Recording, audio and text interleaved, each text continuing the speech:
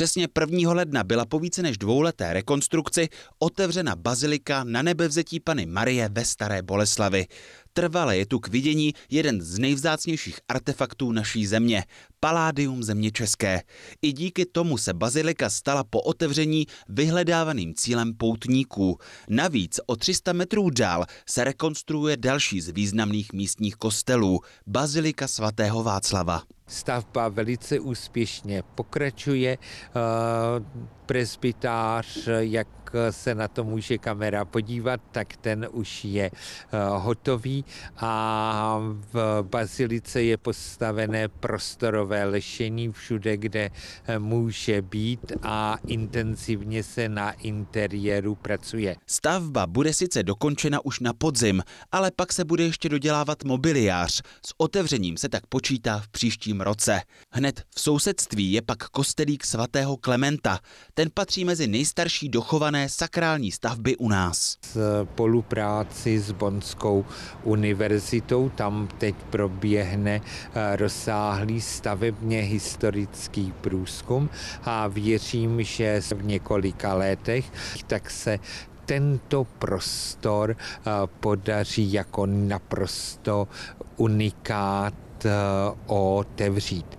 Eh, samozřejmě budeme pokračovat i eh, v další revitalizaci celého prostoru kolem Baziliky svatého Václava. V děkanské zahradě by tak měla vzniknout meditační zóna s křížovou cestou.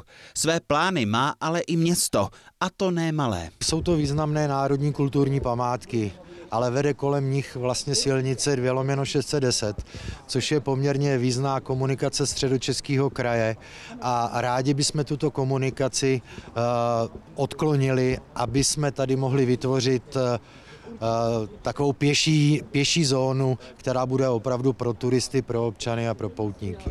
Město už s takzvaným mini obchvatem počítá v územním plánu. Kdyby ale mohl opravdu vzniknout, je zatím ve hvězdách. Lukáš Kubát, televize Praha. Město v uplynulých dnech vybralo firmu, která se o zbourání budov postará a demolici provede za 3,2 milionů korun. Komplex složený ze čtyř budov tak přijde o tři z nich. Zároveň jsme vybrali společnost, která bude provádět dokumentaci eh, pro tu novou stavbu eh, a předpokládáme, že eh, v průběhu následujících dvou let by mělo dojít jak k vypracování té dokumentace, tak i ke získání stavebního povolení. Následovat bude výběr zhotovitele a rádi bychom hm, v roce 2023 začali stavět. V rámci toho areálu eh, právě tak, jak eh, společnost Rangerka navrhla eh, v té soutěži, to umístění by zůstal jeden historický objekt. Je to ten objekt, když se přijde do toho současného areálu, tak po pravé straně. Tento objekt je zanesený právě ve, smluv, ve smlouvě ze společnosti Rangerka a bude se rekonstruovat. Rádi bychom tam otevřeli jako zázemí, kavárnu plus nějakou klubovnu eh, právě pro eh, seniory se širším využitím té dané komunity. Cílem města je vystavět tři nové pavilony, které budou spojeny společnou halou a kapacita komplexu by měla být celkem 200 lůžek. Areál na Červeném kopci bude po znovu otevření určen především pro pacienty s mentálním onemocněním. Především eh, Parkinsonova nemoc nebo Alzheimerova nemoc, případně osoby onkologicky nemocné nebo lidé, kteří Eh, nějakým způsobem nemohou zůstat dál v domácím ošetřování a potřebují jak sociální, tak zdravotní péči. Celkovou částku, která bude potřeba na vystavění nového areálu, bude město znát až po zhotovení projektové dokumentace a soutěži na realizátora stavby. V současné chvíli se ale odhady pohybují kolem 350 milionů korun. Celý tento komplex bude projektován na ten standard zdravotní péče, ale předpokládáme jakési formu financování jak ze strany sociálního, tak ze strany zdravotního pojištění. Až do posledních chvil v areálu fungovala nemocnice milosrdných bratří. Ta se ale už v lednu 2018 přestěhovala na Polní ulici. Budovy pak byly ještě chvíli využívány pro rodiny ze zrušené ubytovny na Šámalově ulici. V současné chvíli ale prostory zejí prázdnotou a na to, kdo bude novým provozovatelem, si budeme muset ještě nějaký čas počkat. Petr Hradský, televize Brno 1. Pondělí 17. února se na Kinšperské radnici konalo přijetí dárců krve a ocenění zdravotníků. Město tímto chtělo vyjádřit poděkování svým občanům. Po zhruba asi roce práce jsme dali dohromady kompletní seznam eh, našich dárců, to znamená obyvatelů, kteří bydlí v Kinčpeku nad a darují krev. Eh, takže jsme dali dohromady jak stříbené plakety nebo stříbené odznaky, z další zlaté a samozřejmě jsme do toho už dali i to, že jsme v rámci vyhodnocování zdravotníka Karlovarského kraje dali tři roky zpátky, to znamená, měli jsme 2017, 2018 a 2019, takže jsme to pojali jako takový slavnostní akt pro všechny dárce a zároveň i zdravotníka roku. Stříbrnou jánského medaili za minimálně 20 odběrů obdrželi Veronika Matějková, Eva Šneberková, Francisk Bouda, Josif Bouda a Martin Zajíček. Za minimálně 40 odběrů získali zlatou plaketu Lubor Tužinský, Radka Gajičová, Ivana Vavřinovská, Jolana Jindrová, Antonín Košař a Zdeněk Koco. Rekordmanem je v Kinčperku pan Ladislav Ohera, který má zlatý kříž Českého červeného kříže druhé třídy za 120 odběrů. Krev začal dávat ve svých 20 letech spolu s kolegy z práce. Když jsem teda přišel poprvé do Varu a viděl jsem tam na nástěnce eh, primáře, ten měl 100 odběrů, tak jsem si říkal, to v životě nemůžu dát, to jako to. A šlo to. Ve Varech eh, tam to bylo na díl, tam byly různý, eh, brali na zkoušku a tak. Tam to bylo vždycky tak tři hodiny v Sokolově, když to tak za půl hodiny jsem pryč, když není nějaký nával. Jednou taky uh, mě vrátili zpátky, že mám přijet asi za dva dny znova k operaci. Jo, tak, takový to potěší, no, když někomu můžete pomoct. Jsem, jsem tady z Kinčperka, tady jsem se narodil a dělám na Sokolovské uhelné. Teď už to je furt dál, dál, dál. Začal jsem na Medardu, pak Dukla, Marie a teď jsem ve Vintýřově řidič pasového vozu. Kromě dárců krve město poděkovalo dříve oceněným zdravotníkům. Pavlovi Bendovi za čtvrtstoletí dlouhou profesionální péči o seniory. Jmenovaný pracuje v domově pro seniory v Kinčperku na Tohří. Dále praktické lékařce pro děti a dorost v Kinčperku doktorce Miroslavy Komárkové. Milá a vstřícná lékařka pečuje již téměř půl století o několik generací kinčperských dětí. Poděkování obdržel také praktický lékař z Kinčperka dr. František Uhlík. Ve městě je znám jako opora zdravotnictví a jistota pro své pacienty. Masopust, šibřinky, ostatky a nebo taky fašánk. Tak se nazývá období hodování a veselí mezi dvěma postními dobami, vánoční a velikonoční. Blížící se konec této doby si během uplynulého víkendu připomněl také valašský soubor písní a tanců Jasenka. Začíná velký půst a aby ti lidi na to byli připraveni a dokázali si odříct, tak si musí vychutnat to veselí a užít si to ještě naposled tak jako z gruntu. V době masopustu se na Královském dvoře konaly hostiny, ve městech tancovačky a na vesnicích vepřové hody. Těm, kdo se slávy nezúčastnili, se posílala bohatá výslužka na Moravě zvaná šperky a v Čechách zabíjačka. Pravý valašský fašánk je spojen i s průvodem masek a voděním medvěda. Je to takový symbol toho, toho blahobytu a té plodnosti, takže když eh, medvěd třeba požádal hospodyni o tanec, tak to bylo jako obrovské štěstí pro tu hospodyni, protože přinesla právě, přinesla ten medvěd tím tancem tu, tu plodnost do té domácnosti a dařilo se obilí. K vidění tak byly tradiční i novodobé masky.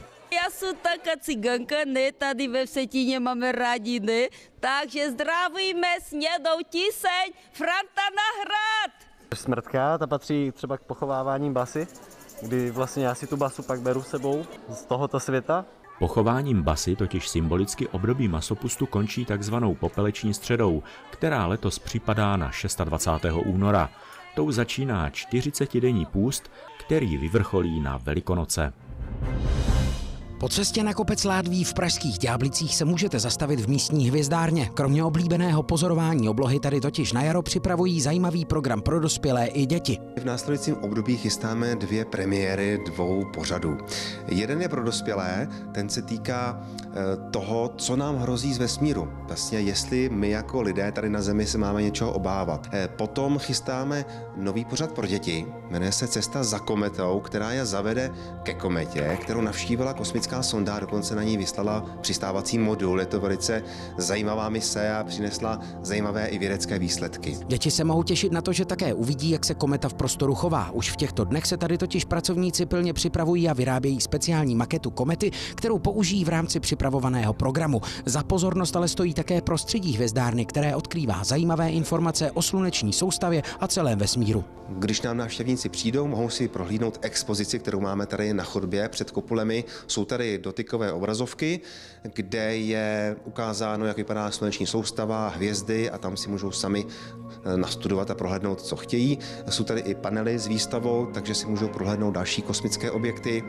A pak tady máme dvě kopule, eh, kde jsou dva různé dalekohledy. Hvězdárna počítá s návštěvou lidí každého věku, má programy pro děti, dospělé i seniory a navštívit hvězdárnu se nemusí bát ani handicapovaní lidé, například na vozíčku. Jsme jedinou bezbariérovou hvězdárnou republice, kde vozíčkář může přijet na vozíku až k okuláru dalekohledu a ať se ten dalekohled dívá na jakoukoliv světovou stranu, na jakýkoliv objekt na obloze, tak vozíčkář se ani nehne a stále kouká do toho jednoho místa. Pokud plánujete návštěvu Ďáblické hvězdárny, je dobré počítat s tím, že otevírací doba se měsíc od měsíce mění. Časy, ve kterých je možné hvězdárnu navštívit nebo se zúčastnit zajímavého pozorování nebo vzdělávacího programu, jsou uveřejněny na stránkách planetum.cz, na kterých jsou informace o všech hvězdárnách v Praze. Jan Varga, televize Praha.